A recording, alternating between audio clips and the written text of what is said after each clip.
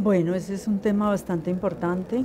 Eh, el lunes, el, el viernes pasado, eh, ellos salieron a hacer una manifestación, pues en un principio la manifestación era hacia el rector, porque pues el rector se, fue, eh, él pidió traslado y pues según eso no dio cuentas, eso pues no, no lo conozco de, de primera mano. Los niños salieron, hicieron su manifestación, ya el lunes volvieron a hacer la manifestación, eh, pero entonces eh, la gente, pues ya como las personas de, ahí del municipio que, no están de acuerdo de pronto con la administración, pues ya le están tratando de meter mucha política. Y yo reconozco, claro, las instituciones están en muy mal estado.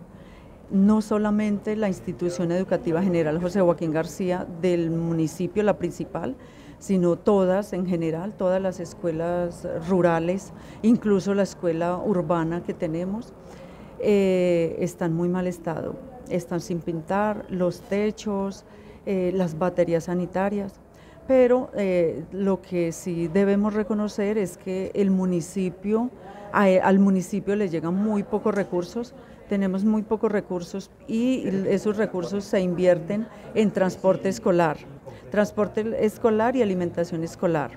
Eh, yo he cumplido desde, desde el 2020 que, que me eligieron como alcaldesa, que me posesioné. He cumplido con lo que he podido.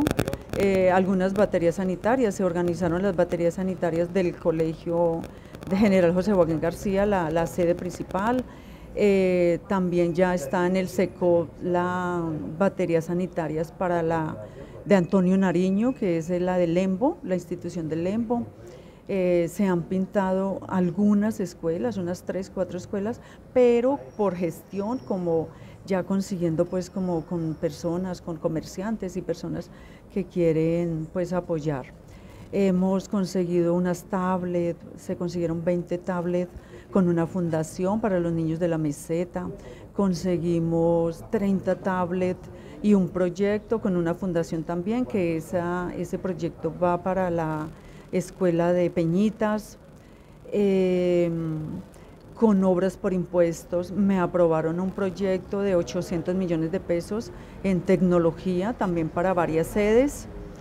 Mm, bueno, he hecho varias cosas, pero como le digo, el presupuesto es muy poco.